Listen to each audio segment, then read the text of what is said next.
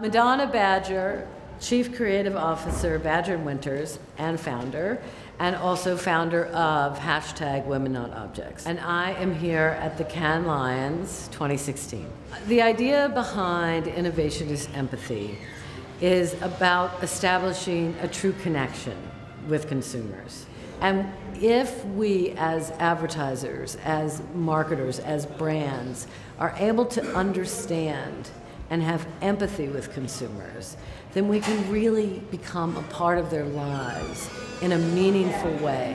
Well, I think that we have used creativity to reach the goals. Um, we used the medium that we work with, um, which is cinema, video, um, to make the points that we wanted to make.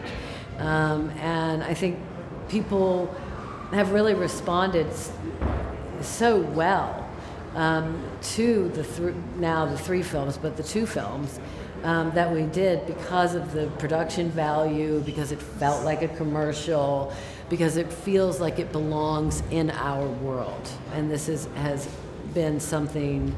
Um, that has made a big difference. And then the, you know, the copywriting, the idea of giving blowjobs to sandwiches, and you know, so it had a, a sense of humor. So they're all creative outlets. Next for the campaign is getting as many people within our industry to sign up on womennotobjects.com and to pledge that we are one industry against the objectification of women.